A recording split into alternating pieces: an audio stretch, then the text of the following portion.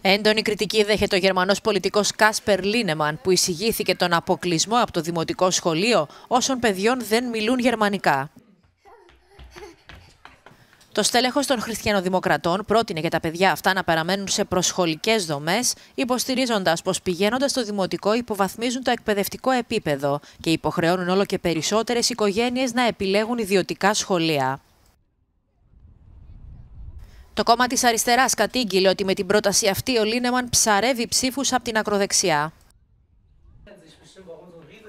Αλλά και η Κάριν Πρίεν, υπουργός παιδείας του κρατηδίου Σλέσβι Χόλσταϊν και επίσης τέλεχο των Χριστιανοδημοκρατών, χαρακτήρισε την πρόταση απολύτως λανθασμένη. Στο πλευρό του Λίνεμαν τάχθηκε ο επικεφαλής της νεολαίας του Τσεντεού που χαρακτήρισε σωστό τον αποκλεισμό από το δημοτικό των παιδιών που δεν μιλούν ακόμα γερμανικά.